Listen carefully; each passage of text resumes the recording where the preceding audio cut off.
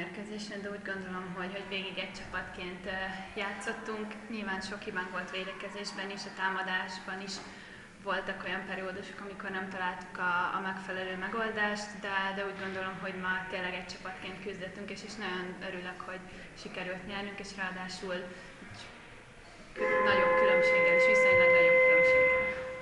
Köszönöm szépen. Gratulálok a csapatnak, és gratulálok a közönségnek újból. Nagyon szuper volt, hogy így segítették a lányokat, főleg a második félidőben, mínusz 8-nál kellett a segítségük. Mindig arról beszélünk, hogy szép volt Szűcsréka, szép volt Marshall, szép volt Csirkeferi. Én úgy érzem, ennek a, ennek a mai mérkőzésnek ugyanolyan letéteményese a többi stábtag, gondolok itt a fizikoterapeutákra, a gyógytornászokra, az erőléti edzőre Nikolára, hiszen nekünk ez a 11. mérkőzésünk volt Zsinorban, nekik a negyedik, és, és a lányok egy ilyen második félidőt, vagy inkább úgy mondom utolsó 15 percet oda tettek a pályára, úgyhogy ez biztos, hogy anélkül nem menne, ami a háttér van a lányok mögött és mögöttünk.